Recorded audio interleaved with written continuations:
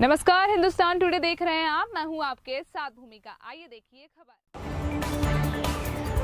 बालाघाट ज़िले में जिस तरह से अमानक चावल वितरण का मामला गरमाया है और कार्यवाही की जद में आए नान के अधिकारियों पर निलंबन और सेवा समाप्ति की कार्रवाई के साथ दोषी 18 राइस मिलों की तालाबंदी के अलावा एफआईआर की कार्रवाई हो रही है और इसे राइस मिलर एसोसिएशन ने असंवैधानिक बताया है। जिसे लेकर राइस मिलर अब खुलकर सामने आ गए हैं। राइस मिलर्स एसोसिएशन का कहना है कि कस्टम मिलिंग के लिए जिला विपणन अधिकारी के साथ अनुबंध किया जाता है। उसके मुताबिक चावल जमा करते समय उन्हें तय मान मानदंड के चावल का सर्टिफिकेट दिया जाता है। ऐसे में प्रशासन की तालाबंदी, बिजली काटने और एफआईआर की कार्रवाई असंवैधानिक है।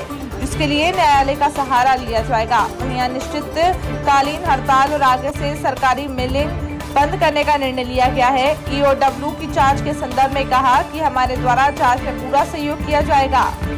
बालाघाट से ब्यूरो चीफ अभिषेक अग्रवाल की रिपोर्ट।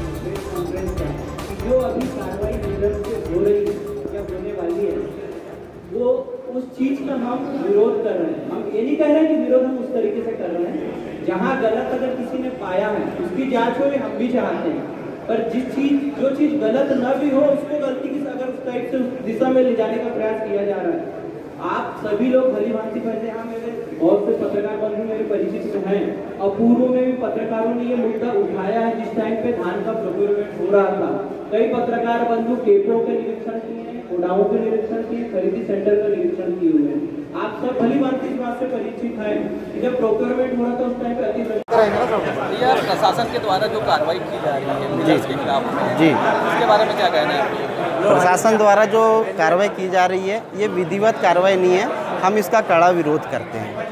अभी आप लोगों ने प्रेस वार्ता रखे थे और मिल बंद कर कि जब हम धान उन्हें देते हैं वही वो यूपी में खरीदते हैं और वहीं पे इनकी साठ देखिए यूपी बिहार का चावल ऐसा दो तीन चार महीना मिले कस्टम मिलिंग का काम चलता है।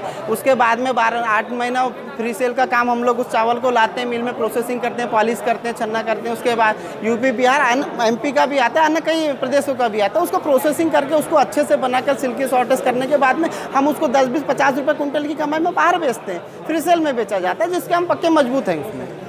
जाँच करके क्या मानते जाँच में क्या होगा? उम्मीद है निष्पक्ष जाँच करेगी ईओडब्ल्यू हम उनके हर जाँच में सहयोग करेंगे और हमारी जाँच एजेंसी राज्य की हम उसका सम्मान करते हैं और जो जो हमसे सवाल जवाब करेगी जो हमसे रिकॉर्ड पूछेगी या मांगेगी हम देंगे।